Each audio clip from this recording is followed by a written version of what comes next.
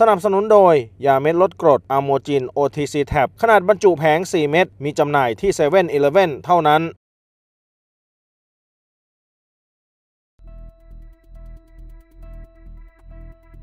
เลขาธิการคณะก้าวหน้านายปิยบุตรแสงกนกกุลเปิดเผยถึงกรณีสารรัฐธรรมนูญจะมีคำวินิจฉัยในคดียุบพักก้าวไกล ว่าในฐานะที่ตนเคยถูกยุบพักเคยถูกตัดสิทธิ์มาก่อน พักจึงเชิญตนมาเล่าให้ฟัง เท่าที่สังเกตบรรดาสสพักก้าวไกลขวัญกำลังใจยังดี วันนี้ติดตามข่าวตั้งแต่เช้า แต่ละท่านก็ไปทำงานที่สภา มียติร่างกฎหมายที่สำคัญก็ยังปฏิบัติหน้าที่ได้นายปียบุตรบอกว่าสำหรับนายพิธาลิมเจริญรัตน์สสบัญชีรายชื่อ และประธานที่ปรึกษาหัวหน้าพักก้าวไกล ก็ลุกขึ้นอภิปราย และคงกำลังจะเดินทางไปที่สารรัฐธรรมนูญ ส่วนสสคนอื่นก็ยังทำงานอย่างเต็มที่ นายปียบุตรบอกว่าเท่าที่ได้คุยกันยังมั่นใจว่าข้อต่อสู้ต่างๆ ที่ต่อสู้ไปนั้นดีที่สุดแล้ว ทุกสิ่งทุกอย่างที่ต้องทำในการสู้คดีก็ทำไปหมดแล้ว อีกไม่กี่ชั่วโมงก็จะทราบว่าสารรัฐธรรมนูญจะวินิจฉัยว่าอย่างไร ทั้งนี้ในฐานะที่สอนวิชานิติศาสตร์กฎหมายรัฐธรรมนูญ กฎหมายว่าด้วยการพิจารณาคดีรัฐธรรมนูญ ว่าเมื่อไหร่ก็ตามที่สารรัฐธรรมนูญตัดสิน ตนจะอธิบายทุกครั้ง ว่าให้เป็นเรื่องของกฎหมาย เป็นเรื่องของหลักการที่ถูกต้องอย่าเอาความรู้สึก เหตุ ปัจจัยทางการเมืองเข้ามาเป็นส่วนผสมในการตัดสิน นายปิยบุตรบอกว่าเข้าใจดีว่าประสบการณ์ตลอด 2 ทศวรรษที่ผ่านมา ประเทศไทยเรามีการยุบพักเกิดขึ้นหลายครั้งหลายหน และมีคำวินิจฉัยของสารรัฐธรรมนูญจำนวนมาก ที่ส่งผลกระทบต่อการเมืองไทยอย่างมีนัยสำคัญ จึงเป็นธรรมดาที่สังคมและประชาชนจำนวนมาก จะประเมินเรื่องนี้ จากแง่มุมในทางการเมือง ด้วยประสบการณ์ที่ผ่านมา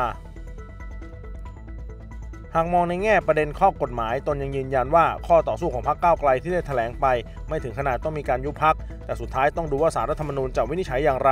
เมื่อตนได้อ่านเอกสารการต่อสู้คดีพรรคก้าวไกล ที่มีตั้งแต่ขอบเขตของอำนาจสารรัฐธรรมนูญกระบวนการในชั้นคณะกรรมการการเลือกตั้งหรือกกต รวมถึงสู้ว่าสิ่งที่คุณกำลังกล่าวหาต่างๆ ไม่ใช่การกระทำของพรรคแต่เป็นการกระทำของบัตรเจกบุคคล การแก้ไขประมวลกฎหมายอาญามาตรา1นึเป็นกระบวนการนิติบัญญัติ ไม่ใช่เรื่องการล้มล้างการปกครอง อย่างไรก็ตามที่มีอยู่ในศาลอำนาจศาลจะเป็นผู้ตัดสินและวินิจฉัย ซึ่งท้ายที่สุดสารรัฐธรรมนูญจะต้องตอบในประเด็นข้อโต้แย้งเหล่านี้ทั้งหมด ไม่ใช่เป็นการตอบเฉพาะแค่ของพรรคก้าวไกล หรือของกกต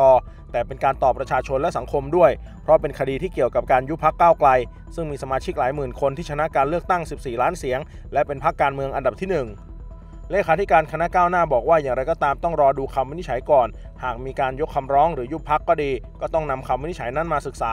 โดยหลังจากจบการบรรยายพิเศษตนจะขึ้นไปนั่งฟังคำวินิจฉัยด้วย ซึ่งคงมีข้อวิจารณ์ตามมา เพราะหากเราจะจะลงประชาธิปไตย หลักนิติรัฐ นิติธรรม รักษาสถาบันองค์กรตุลาการสารรัฐธรรมนูญได้ ต้องมีการวิพากษ์วิจารณ์คำวินิจฉัยของสารรัฐธรรมนูญนายปิยบุตรเปิดเผยว่ารุ่นน้องที่มาอยู่พักก้าวไกลก็ตั้งใจทำงาน กลุ่มขั้วความคิดแบบอนาคตใหม่ก้าวไกลตอนนี้ สถาปนาขึ้นเป็นกลุ่มความคิดในทางการเมืองแล้ว และจะพัฒนาเป็นการเมืองแบบใหม่ชุดใหม่เรียบร้อย คนที่จะขึ้นมารับบทบาทต่อไป ทั้งในวันนี้และวันหน้าคงต้องยึดตามแนวทางของอนาคตใหม่และก้าวไกลต่อไป